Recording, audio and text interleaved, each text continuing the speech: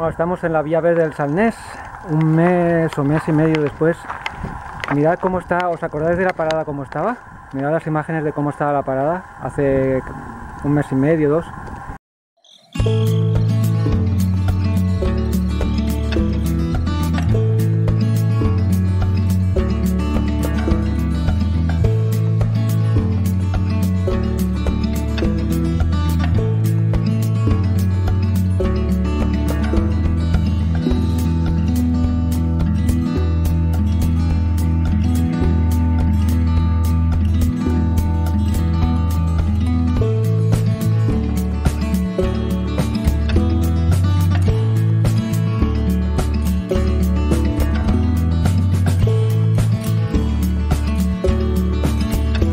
Y ahora cómo está, reformadita, pintada, bueno ya algún subnormal ha pintado algo ahí, pero pero mira, y más que pintará, ¿no? Pero pintada, el nombre de la estación, limpia, wow.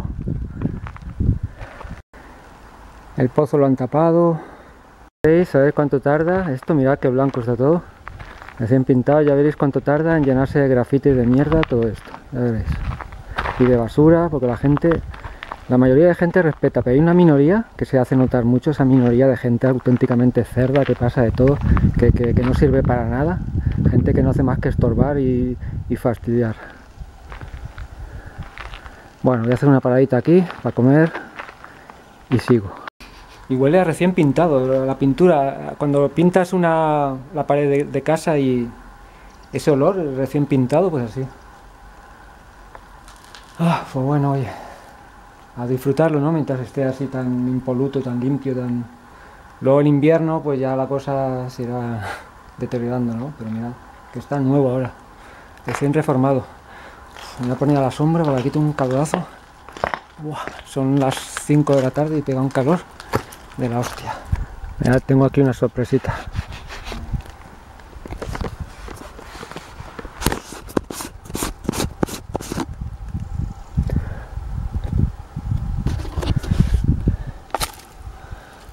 Tachan una estrella Galicia. La he ajustado para que no me dé durante el camino. Hostia, la he ajustado demasiado. Voy a el pañuelo este. Aquí está, estrella Galicia. Sí. Ahora vendrá alguien a tocarme las narices, ya veis. Ya veis como viene alguien a tocarme las narices justo, justo cuando estoy disfrutando de la cerveza. Pero bueno. Tengo el abridor.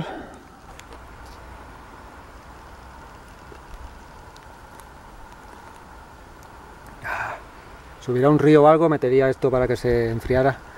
Como cuando fui a la aldea esta de, de la Sierra Alcandán, esa que estaba ahí metida en, entre montañas, ¿os acordáis? Pongo aquí arriba el enlace.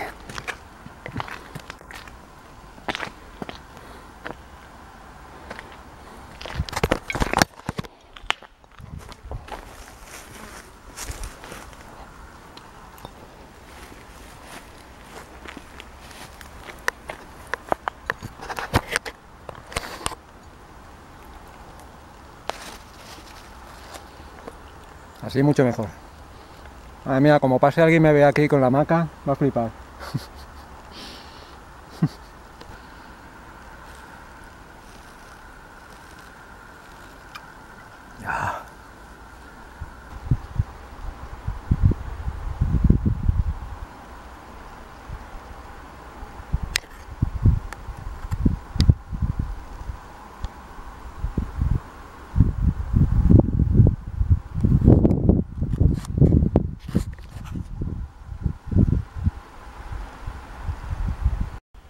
Qué sueño me está entrando. Se está aquí de puta madre. 5 de la tarde. Fresquito. Aquí mecido en la vaca. No hay nadie. Bueno, solo pasaron dos ciclistas de montaña rápidos por aquí y ya está. Quería comentaros el sistema bikepacking que utiliza estos 8 días. 5 en aventura hacia la Gudiña, Camino Santiago-San Andrés, Santiago, Pontevedra. Y en la aventura Finisterre, sumando esos 5 y los 3 días de Finisterre. El sistema bikepacking que utilizaba de Topea Versaceig es Topic Versa Cage en inglés. Se, fabuloso, perfecto. No se, me ha, no se me ha movido para nada la carga. Ajusta perfecta, no me molesta, bueno, hay que acostumbrarse un poco, pero muy poco, a la conducción al llevar eso en la horquilla, pero nada. Apenas llevaba un kilo en cada bolsa y muy bien. Luego en la bolsa pidura de sillín, pues llevaba ropa, llevaba un poco de comida, un saco de emergencia de dormir por si acaso y las cosas, o sea, cucharas, que son los cubiertos para comer, alguna cosilla de emergencia y tal, chubasquero, pijama y esterilla arriba, ya habéis visto cómo la pongo en la hamaca y también me sirve pues evidentemente para dormir en el suelo si no encuentro dos árboles.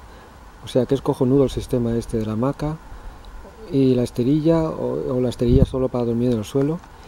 El poncho tarp para pues si llueve como me llovió un poquito aquella noche en el monte que fue más orvallo que otra cosa, una lluvia muy fina. Y también para si duerme directamente en el suelo en plan vivac sin nada arriba, pues para que no el rocío no te moje el saco, se pone por encima como un cubre saco y como es impermeable, pues perfecto, encima es de camuflaje.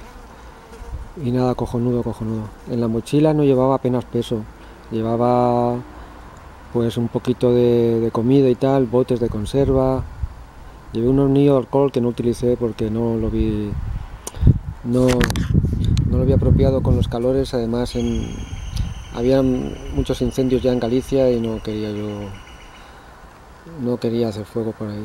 No por si ocurriera nada porque con hornillo de alcohol teniendo cuidado no pasa nada pero no quería.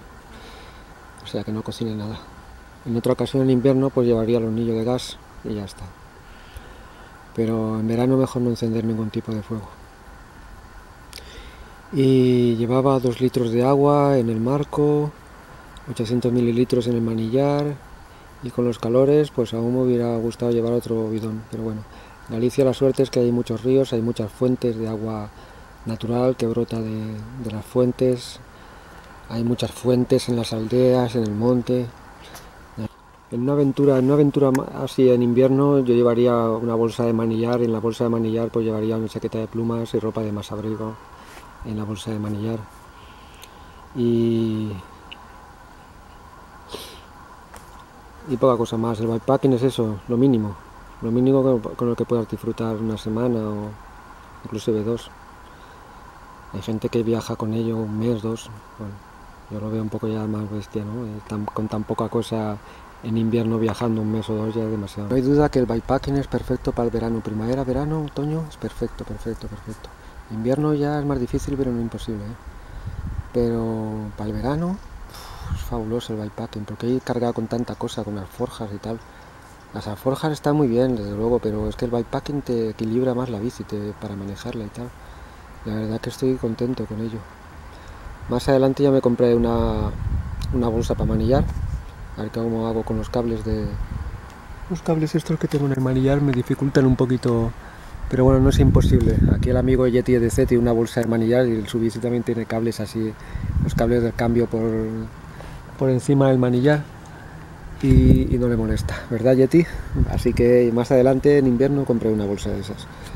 Para si hago una, microaventura en invierno, pues para meter ropa de abrigo ahí, está guay. Y nada, sobre todo por el COVID y tal, y porque ahí no me gustan los bares, los restaurantes.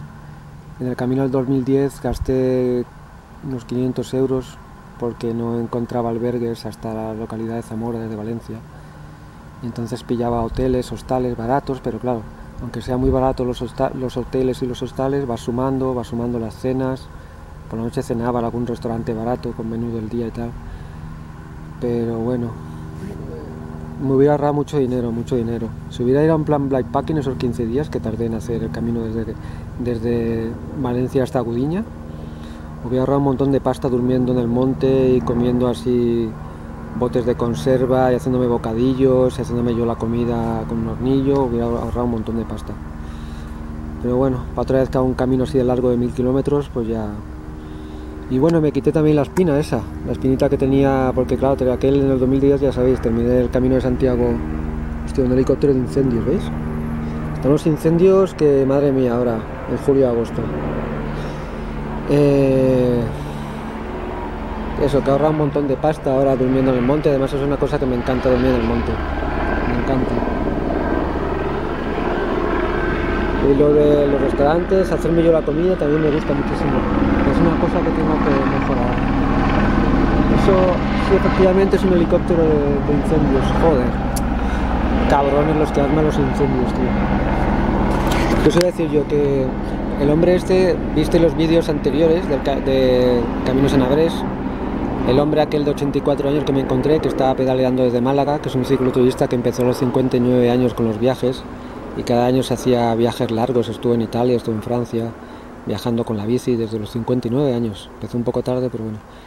Y estábamos comentando eso, que tenemos que mejorar, comentamos cómo hacemos para comer, cómo hacía él para comer, cómo hacía yo para comer en los viajes y, la verdad que somos un poco desastre, tenemos que ir cambiando, tenemos que cambiar un poquito eso y comer mejor. Yo la verdad que en el viaje de Fisterra ya fui comiendo mejor y ahora verano y tal, en cuanto acabe el verano y si se puede ya, bueno, cuando ya haga más fresco pues pillaré una bombona de gas y ya podría hacerme yo la comida por ahí, pero no al medio del monte, sino hacerlo yo que sé en un sitio así, en una ermita o una iglesia o algo. Y luego ya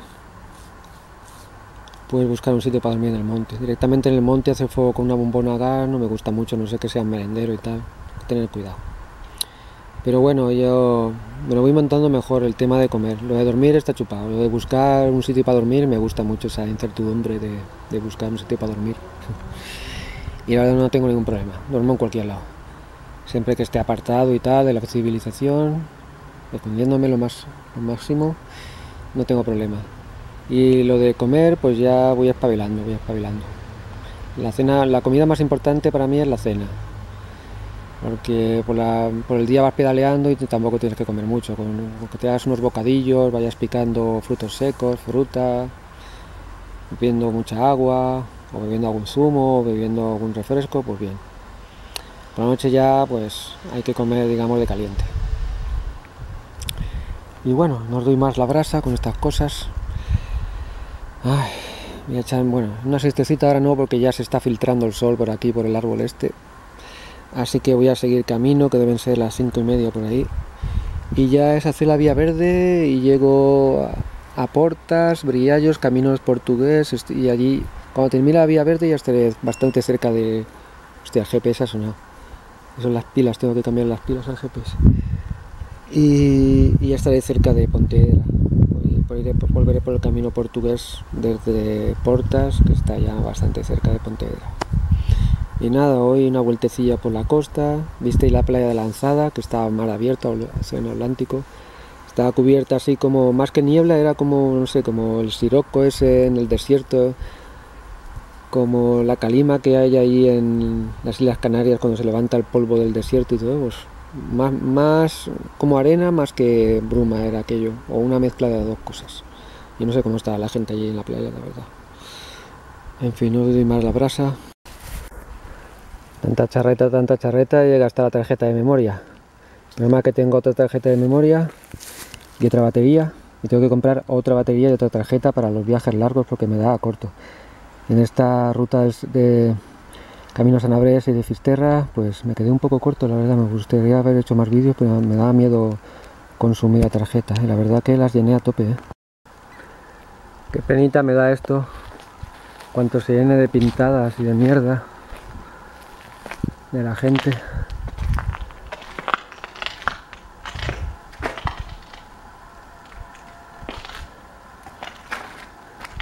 En fin, hostia, qué calor, tío. Pongo al sol es mortífero, ¿eh? yo no sé cómo llegar hasta aquí.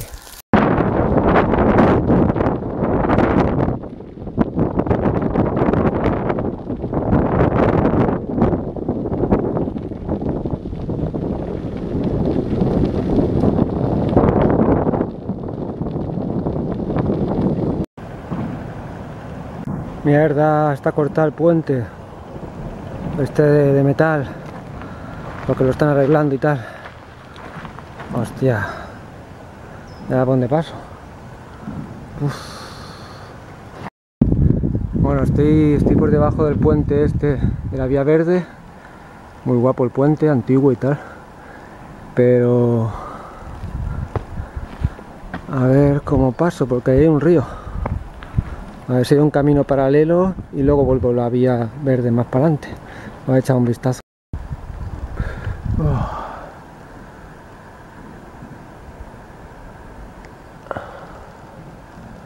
Han limpiado toda la piedra y tal del soporte del puente.